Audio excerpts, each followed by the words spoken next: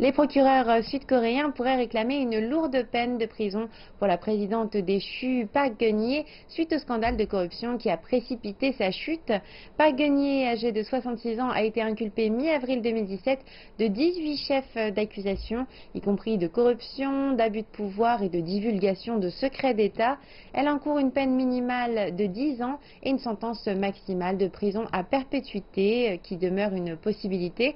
Park geun a été accusé de collusion avec son ami de longue date Choi Soon-sil afin d'extorquer 55 millions de dollars à des conglomérats sud-coréens dont Samsung et Lotte en échange d'un traitement de faveur.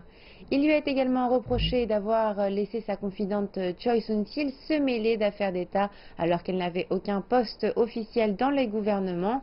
D'ailleurs, Choi a été condamné à 20 ans de prison par le tribunal du district central de Séoul plus ce mois-ci.